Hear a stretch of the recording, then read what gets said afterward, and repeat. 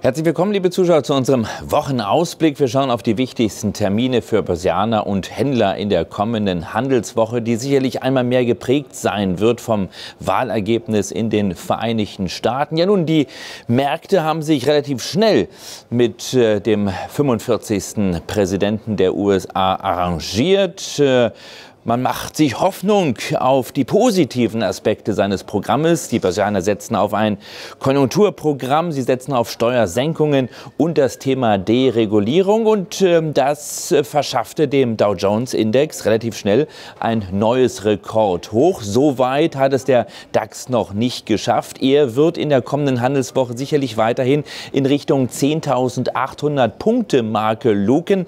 Das ist die nächste harte Widerstandszone und die müsste er erst einmal knacken, um dann Richtung 11.000 Punkte weiterzulaufen. So weit ist es noch nicht, aber Sie merken, das Thema Politik wird die Märkte weiter beeinflussen und auch das Thema Geldpolitik, die Inflationserwartungen in den USA, sie sind schon angestiegen und das Thema Leitzinserhöhung ist ganz oben auf der Tagesordnung. Dezember da ist der nächste Termin angesagt. Dann könnte die FED womöglich eine nächste kleine Zinsanhebung beschließen. Schauen wir auf wichtige Termine in der kommenden Woche und beginnen mit dem Montag. Montag, der 14.11. ist zugleich der Startschuss für die 19. Euro Finance Week in Frankfurt, das europaweit größte Branchentreffen der Bank- und Finanzwirtschaft. Es wird eröffnet vom Vizepräsidenten der EZB von Constantio und alle Größen der Bankwirtschaft werden sich dann unterhalten und diskutieren zum Thema Chancen und Risiken in der sogenannten neuen Normalität. Das klingt doch spannend. Und es folgen dann mehr als 20 Fachkonferenzen in den Tagen bis zum 18. November. Alles in Frankfurt am Main.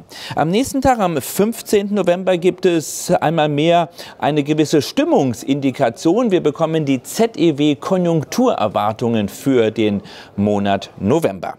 Am Mittwoch, am 16.11. dann ein Datencocktail aus den USA. Wir bekommen die Erzeugerpreise, die Zahlen zur Industrieproduktion und auch zur Kapazitätsauslastung. Alles für den Monat Oktober. Ja, und wenn diese Zahlen positiv herauskommen sollten, könnte das ein weiteres Indiz sein für eine baldige Zinsanhebung durch die US-Notenbank FED. Am Donnerstag nochmal die große Politik. Der letzte Besuch vom scheidenden US-Präsidenten Obama in Berlin. Er reist am 17. November an und dann am 18. November, dann kommt noch mal die Geldpolitik ins Spiel. Dann wird eingeladen wieder nach Frankfurt zum European Banking Congress mit dabei, unter anderem EZB-Chef Mario Draghi, Bundesbankchef Jens Weidmann, Bundesfinanzminister Wolfgang Schäuble und auch James Bullard wird da sein, der Präsident der FED von St. Louis. Er ist zurzeit stimmberechtigt im Geldpolitischen Ausschuss der US-Notenbank, also des FOMC. Und vielleicht gibt er uns ja eine Indikation, ob die Zinsen weiter rauf müssen und ob es dann im Dezember passiert, nämlich die nächste kleine Zinsanhebung durch die US-Notenbank, durch die Fed. Also die nächste Woche hat es durchaus in sich, politisch wie auch geldpolitisch. Ihnen erstmal ein schönes Wochenende. Bis zum Montag. Alles Gute aus Stuttgart. Tschüss.